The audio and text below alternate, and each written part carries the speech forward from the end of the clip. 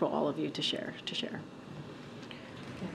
Thanks, Green. Uh, So I'm curious, uh, in Congress tomorrow, um, so will the president be monitoring it all or give updates on the House Oversight Committee where the second IRS whistleblower is going to be testifying? So the president has a busy day tomorrow. Uh, As you all know, he's convening the, the uh, Competition Council to a new, to announce new actions uh, to, to increase competition in American economy, to make sure that we're doing everything that we can to lower, a lower cost for consumers, and also to help entrepreneurs, entrepreneurs and small businesses thrive. And that's what the president's going to be focused on tomorrow. These are pillars, as you can imagine, of Bidenomics is something that we've been talking about, certainly, uh, the last couple of weeks. So he's going to have a busy day. That's going to be the focus. It's going to be focused on the American people. Is the president concerned that- about the impartiality of the IRS in terms of their work and their investigations that they do then?